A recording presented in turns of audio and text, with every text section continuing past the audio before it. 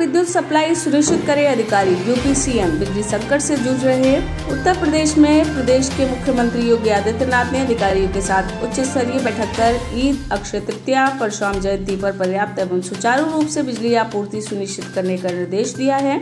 साथ ही धार्मिक स्थलों के पास साफ़ सफ़ाई और पीने के पानी की व्यवस्था के लिए भी अधिकारियों को निर्देशित किया।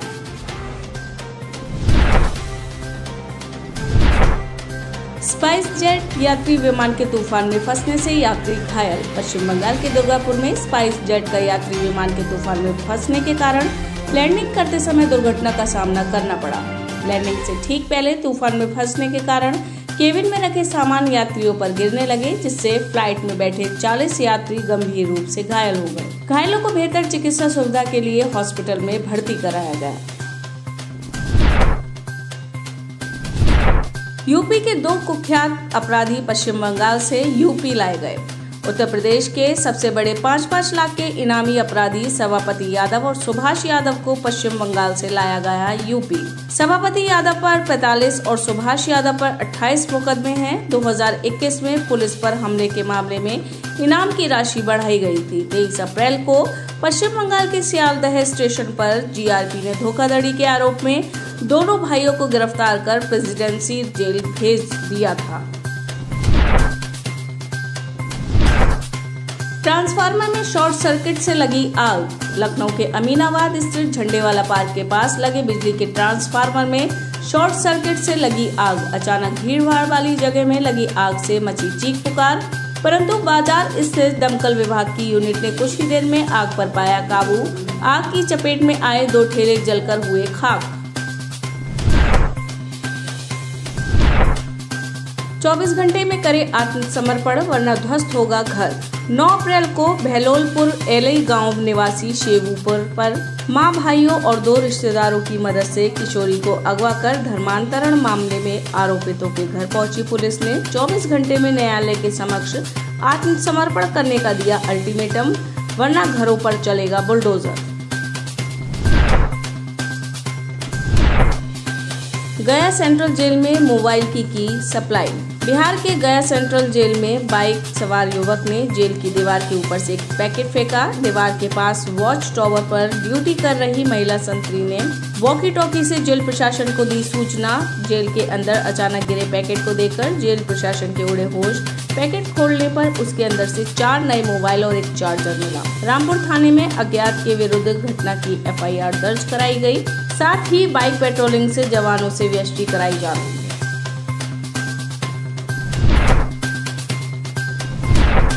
हमले की योजना बना रहे अपराधी गिरफ़्तार। पंजाब पुलिस ने कनाडा निवासी अपराधी गोल्डी बराड़ तथा जेल में बंद अपराधी लॉरेंस बिश्नोई के तीन साथियों को भटिंडा से गिरफ़्तार कर लिया है।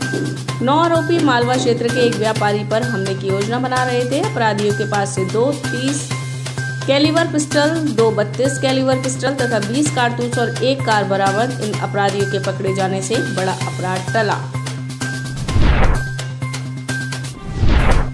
यूपी सीएम ने कोविड प्रबंधन की समीक्षा की। मुख्यमंत्री योगी आदित्यनाथ ने कोविड 19 प्रबंधन के लिए गठित अधिकारियों के समूह टीम नाइन की बैठक में कहा कि प्रधानमंत्री के मार्गदर्शन, ट्रैक, टेस्ट, ट्रीट और टीकाकरण की नीति के सफल आयोजन से उत्तर प्रदेश में कोविड पर नियंत्रण बना हुआ है। वर्तमान में प्रदेश में कुल पंद्रह एक्टिव केस हैं। निन्यानवे फ़ीसदी लोग घर पर ही स्वास्थ्य लाभ प्राप्त कर रहे हैं। इनके स्वास्थ्य पर सतत नज़र रखी जा रही है। तेज़ी से बढ़ता कोरोना संक्रमण चौथी लहर नहीं है। देश के कई राज्यों में तेज़ी से बढ़ रहे कोरोना संक्रमण के बीच भारतीय चिकित्सा अनुसंधान परिषद के अतिरिक्त महानिदेशक समीरन पांडा ने कहा कि कोरोना संक्रमण के तेज़ी से बढ़ते मामले कुछ ही क्षेत्रों में बढ़ रहे हैं। जिला स्तर पर बढ़ रहे मामलों को देश में महामारी की चौथी लहर नहीं ठहराया जा सकता। दो तीन दिनों के लिए बदलेगा मौसम। भीषण गर्मी की मार झेल रहे दिल्ली उत्तर पश्चिम भारत के लिए मौसम विभाग ने राहत भरी भविष्यवाणी की है। सोमवार से कुछ दिन के लिए मिल सकती है थोड़ी राहत। मौसम विभाग ने इन क्षेत्रों में गरज के साथ बारिश और धूल आंधी चलने की संभावना जताई है। कमान संभालते ही एक्शन में जनरल मनोज पांडे। थल सेना के उनतीसवें प्रमुख बनने के बाद एक्शन में देखे जनरल मनोज पांडे, उन्होंने कहा, भारतीय सेना ने जिस तरह से अभी तक देश की सुरक्षा और अखंडता को बनाए रखने के लिए बहुत काम किया है, सेना इसे बनाए रखेगी, उन्होंने कहा। मेरे लिए बेहद गर्व और सम्मान की बात है कि मुझे थल सेना नेतृत्व का दायित्व तो सौंपा गया है इसे मैं पूरी विनम्रता से स्वीकार करता हूँ तथा भगवान से प्रार्थना करता हूँ कि अपनी ज़िम्मेदारी सही ढंग से निभा सकूँ। राज ठाकरे ने मस्जिदों से लाउड स्पीकर उतरवाने की मांग दोहराई महाराष्ट्र दिवस के मौके पर महाराष्ट्र नवनिर्माण सेना के प्रमुख राज ठाकरे ने औरंगाबाद में हुई रैली में एक बार फिर मस्जिदों से लाउड स्पीकर पर अजान किए जाने के मुद्दे को उठाते हुए लाउड स्पीकर उतरवाने की मांग दोहराई।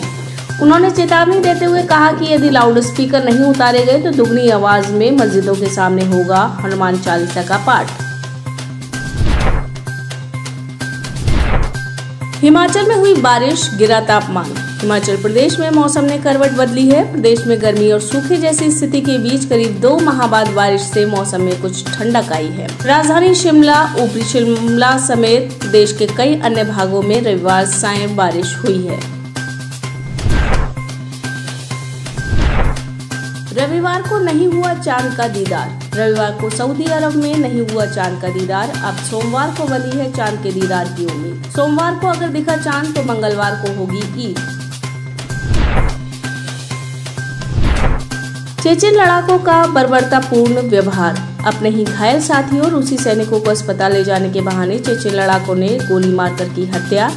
यावलोनस्का स्ट्रीट पर एक कांच फैक्ट्री को बनाया था यातना कक्ष पाँच मार्च से ही शहर में मारकाट शुरू कर दी थी। दो अप्रैल तक बुचा पर फिर से यूक्रेनी कब्जे तक इन लड़ाकों ने आम नागरिकों को बनाया था अपना शिकार।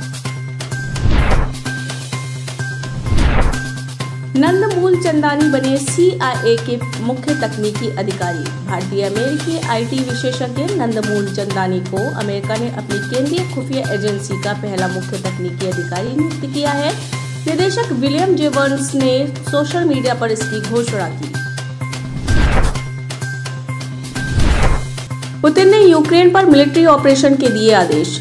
पुतिन ने टेलीविज़न के संबोधन के माध्यम से यूक्रेन की सेना को अपने हथियार डालने का आह्वान किया है। पुतिन ने कहा, मैंने एक विशेष सैन्य अभियान चलाने का फैसला किया है। पुतिन ने कहा, इसमें बाहर का जो भी इसमें दखल देगा, तब उसे गंभीर परिणाम भुगतना पड़ेगा। पुतिन ने बहुत ही सख्त लहजे में कहा, हमने मिलिट्री ऑपरेशन शुरू कर दिया है। कीव से महिलाओं और बुज़ुर्गों की निकासी जारी। मारियोपोल से घिरे शहर में फंसी नागरिकों की निकासी शुरू की गई है। पहले चरण में 100 महिलाओं, बच्चों और बुज़ुर्गों को मारियोपोल से निकाला गया है और पूरे दक्षिणी शहर जापोर जयजिया पहुँचाया गया है। राष्ट्रपति कार्यालय के प्रमुख ने संयुक्त राष्ट्र संघ और रेड क्रॉस सोसाइटी की सराहना की है। तंजानिया के social media star Kili Paul पर हमला। तंजानिया के social media star Kili Paul पर चाकू एवं लाठी से हमला। किली पॉल ने स्ट्रेचर पर लेटे हुए इंस्टाग्राम पर अपनी वीडियो शेयर की है। उन्होंने लिखा है, लोग मुझे नीचे करना चाहते हैं, लेकिन भगवान मुझे ऊपर उठाएँगे। मेरे लिए प्रार्थना करो। बताते चले कि किली पॉल भारतीय के बीच काफ़ी फ़ेमस है। बॉलीवुड के गानों पर लिप्स और डांस के लिए फ़ेमस है।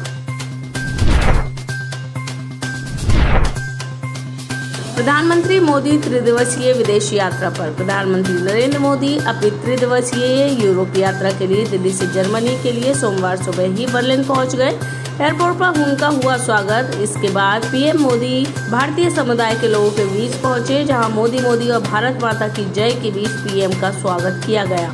यहाँ पीएम ने अभिवादन स्वीकार किया और बच्चों से भी बात की। अब PM Modi, German chancellor Olaf Scholz के साथ छठे भारत, जर्मनी अंतर सरकारी परामर्श में भाग लेंगे। यह पीएम की 2022 की पहली विदेश यात्रा है।